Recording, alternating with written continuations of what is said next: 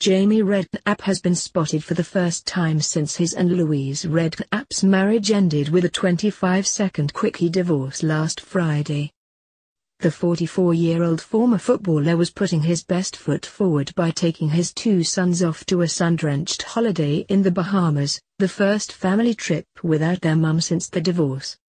He, along with sons Charlie, 13, and 9-year-old Beau, touched down in the Caribbean paradise without his wedding ring on, and looked ready to relax in a casual grey hoodie, jeans and trainers. It's not known how Jamie has negotiated the time off with his kids' schools, as many parents are subjected to a fine if they take their children out of term time education without a valid reason. But, with a net worth of just under an pound, 15 million, perhaps a small fine doesn't seem too much of an obstacle for a luxurious family holiday. Jamie has kept a low profile of late, while his ex-wife has been making the most of her newly single status. She was seen at London's GAY on New Year's Eve, performing on stage without the wedding ring she'd worn for the last 19 years. Louise donned thick high boots and a black coat for her racy performance at the iconic venue, but the bling that she's kept on her finger throughout their split was notably absent.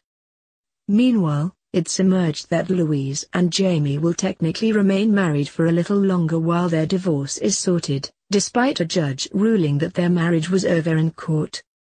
Brian Scant, a solicitor in the family team at firm Coffin Mew, told The Mirror, the decree nisi pronouncement is a formality, every divorcing couple have their names read out in open court to confirm that the judge has considered their petition and approved it.